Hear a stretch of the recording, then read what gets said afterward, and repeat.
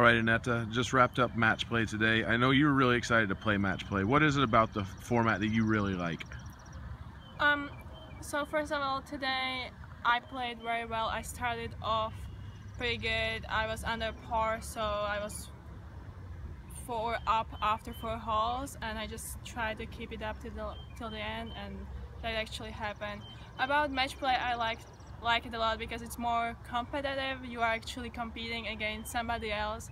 Um, it has its advantages and disadvantages, but I feel like it's really good experience to change the format of the game before the conference. Yeah. Now, in, in terms of all your ladies' confidence, uh, how important is it to, to get feeling good about your games going into conference? I feel like match play is a way how you can get much better feeling because there's more chances you make more birdies, uh, you probably make more up and down. So I feel like that this is something what can raise up our confidence for the next upcoming tournament and what is the conference in Nebraska. Now, in particular for your two days, what was working best about your game? Uh, I actually putted very well. Uh, well, I was pretty happy about it because I keep working on it almost all the time.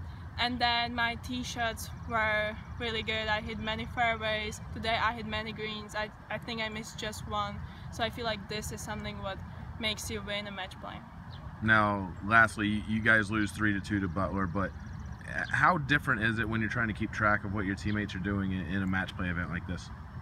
Yeah, right. So I feel like you concentrate on your own score up to the end. I know that at the end it gets you get a little bit more nervous because you are not thinking just about your score but about your teammates' scores and so on. So I feel like this can also push some players to play even better. We could see Lindsay, my teammate Lindsay Heckelman was able to win her last two holes of the match play to bring another point for our team. So I feel like this is something what can push the player to play really good. All right, thanks for the time. Thank you.